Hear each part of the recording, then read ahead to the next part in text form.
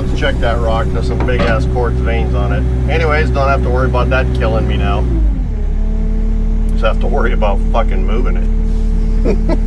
What's a big rock?